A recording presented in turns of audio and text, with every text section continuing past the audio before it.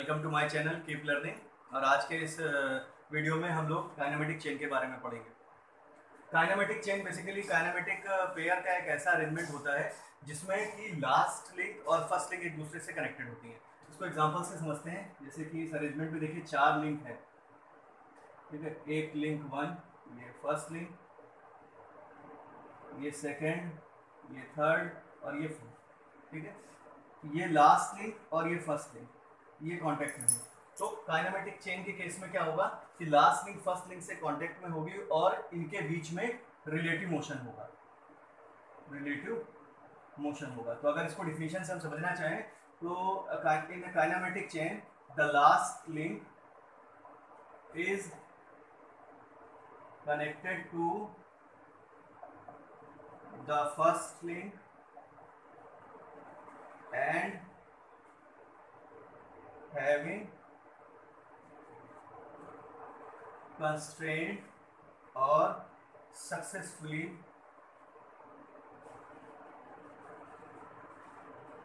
constrained motion. यानी kinematic chain के लिए दो कंडीशन है। पहली तो लास्ट लिंक फ़र्स्ट लिंक से कांटेक्ट में हो और उनके बीच में जो मोशन हो, वो एक डेफिनेट डायरेक्शन में हो। डेफिनेट डायरेक्शन का मतलब या तो वो खुद से हो यानी कंस्टेंट मोशन हो या किसी एक्सटर्नल एफर्ट के, के द्वारा उसको हमें कंस्टेंट करना पड़े। तो इस तरीके की चेन को काइनेमेटिक चेन कहते हैं।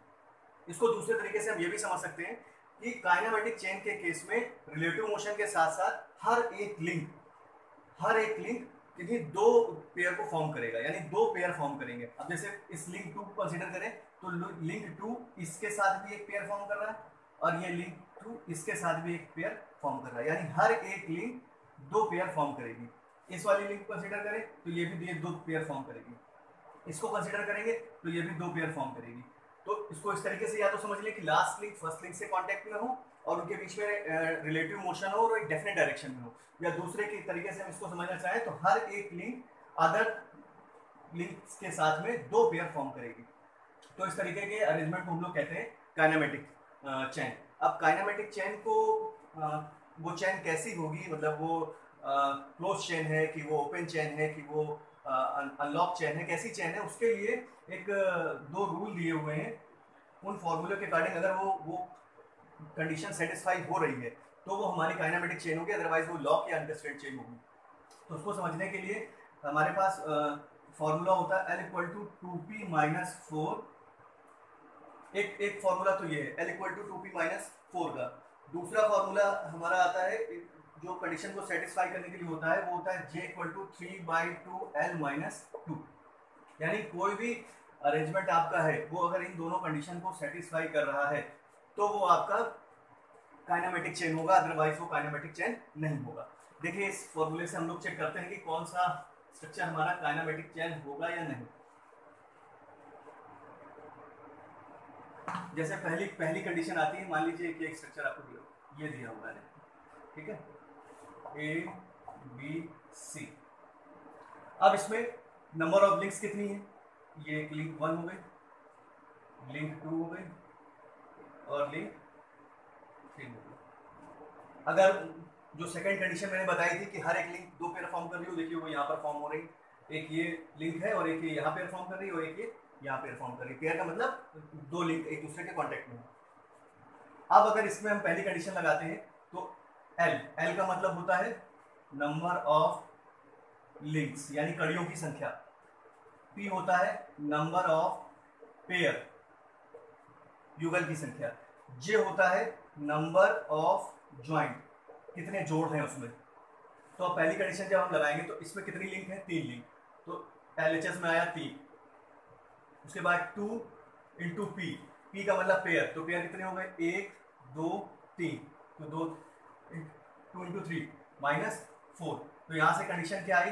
थ्री और यहाँ आया सिक्स माइनस फोर यानी L H S is greater than R H S क्योंकि एल एच एस में कितना आ रहा है? तीन. और आर एच एस में कितना आ रहा है? दो.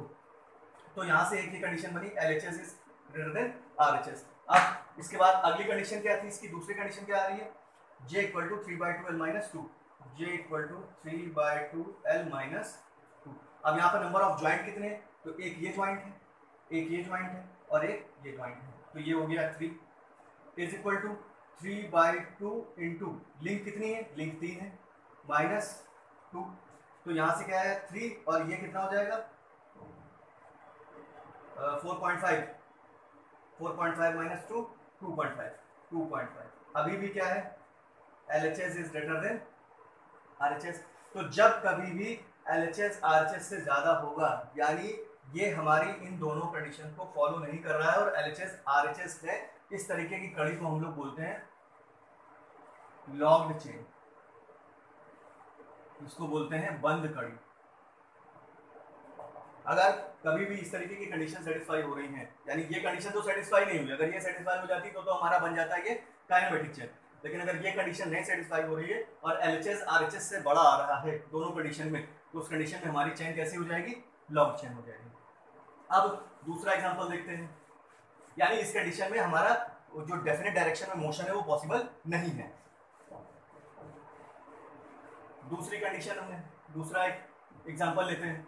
जिसमें चार फोर बार चेन ले लेते हैं, यानी चार कड़ियाँ ले लेते हैं। ये। ये चार। ठीक है, इसमें एक ये लिंक हो गई link one link two link three and link four अब फिर से हम इन कंडीशन को सेटिस्फाई कराते हैं तो L equal to two P minus four L का मतलब नंबर ऑफ़ लिंक कड़ियों की संख्या। तो कितनी कड़ियाँ? एक, दो, तीन, चार। तो एलएचएस में कितना हो गया? चार। आर में क्या है? Two P minus four. तो टू इंटू पेयर। कितने पेयर है? कितने जोड़े? तो एक, दो, तीन, चार। तो इंटू फोर माइनस फोर। तो यहाँ से क्या है four is equal to four two the eight minus four. या four is equal to four. यानी यहाँ कंडीशन क्या बनी? L H S is equal to left hand side right hand side दोनों बराबर यानी पहली कंडीशन क्या हो गई? सेटिस्फाई हो गई। अब दूसरी कंडीशन चेक करेंगे। दूसरी कंडीशन क्या है? दूसरी कंडीशन थी यहाँ पर j equal to three by two L minus two तो नंबर ऑफ़ ज्वाइंट कितने? एक, दो, तीन, चार। तो ये चार ज्वाइंट होगा इधर। Is equal to three by two into link कितनी है? लिंक कितनी? एक, दो, तीन, चार। तो नंबर ऑफ़ लिंक फोर और माइनस टू यानी four is equal to two two जो four six minus two four ये कंडीशन भी देखिए सेटिस्फाई होगी यानी यहाँ पर भी क्या है? L H S is equal to R H S यानी ये कंडीशन ये हमारी कौन सी चेन हो जाएगी? Kinematic chain with one degree of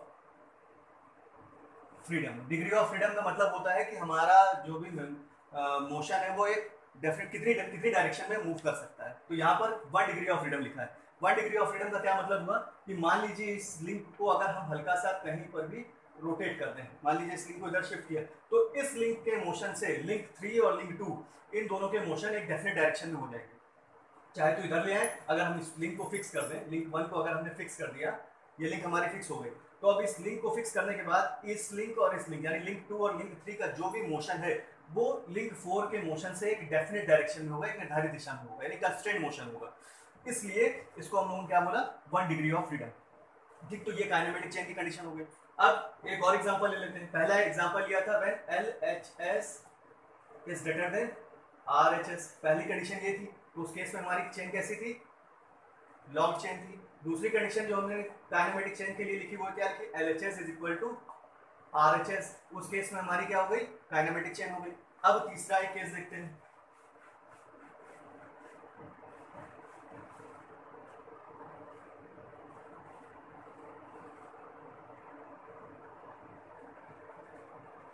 Link one link two link three